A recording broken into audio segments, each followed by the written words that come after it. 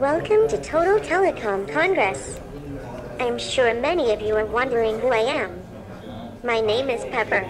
I am one of the team at Accenture's innovation program, showing our clients their potential for improving customer engagement using robots like me. Pepper came out about a year ago, and we've been developing on it ever since as a way to really teach ourselves about robotics and artificial intelligence and see how smart we can make her. So Pepper can see you, hear you, and also understand you, and then respond to, to anything you say. The use cases of these robots are, are really widespread.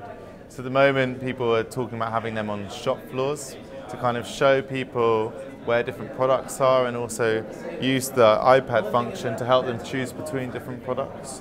One of the issues that telecoms faces is it's not being that approachable to customers often. Um, and it's a kind of, it is a way of breaching that gap between customer centric and, and really getting survey results, managing to interact with people on the ground floor. How we see it, it's both the personal assistant level, but it's also that kind of customer centric interaction that we need to kind of bridge the bridge the gap between automation and self-checkout desks and something a bit more personal. By 2018, 45% of the fastest growing companies will employ more smart machines and virtual assistants than humans.